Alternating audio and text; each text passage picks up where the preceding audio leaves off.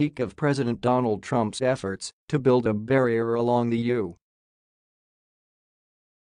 U.S. Mexico border, saying there was no plausible justification for declaring a national emergency. We have lived and worked through national emergencies, and we support the president's power to mobilize the executive branch to respond quickly in genuine national emergencies, reads the letter from the group, which includes former Secretaries of State Madeleine Albright and John Kerry. But under no plausible assessment of the evidence is there a national emergency today that entitles the president to tap into funds appropriated for other purposes to build a wall at the southern border.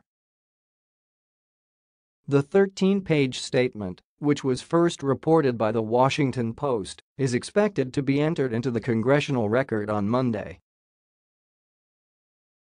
The president declared a national emergency earlier this month in an effort to unilaterally build his wall after Congress stonewalled his demand for $5. 7 billion to do so. Many have accused him of manufacturing a crisis in the absence of a genuine emergency. The group of officials on Monday echoed those sentiments. Signatories include former CIA Director John Brennan, former Director of National Intelligence James Clapper, former Homeland Security Secretary Janet Napolitano, and former ambassadors to the United Nations Thomas Pickering, Samantha Power and Susan Rice. The president's actions are at odds with the overwhelming evidence in the public record, including the administration's own data and estimates, the group wrote.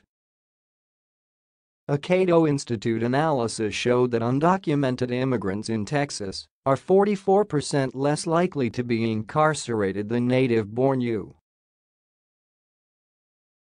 citizens, according to the letter. The declaration also stated that a border wall will not reduce human and drug trafficking because most opioids are brought in through ports of entry and because most victims of human trafficking arrive in the U.S. with valid visas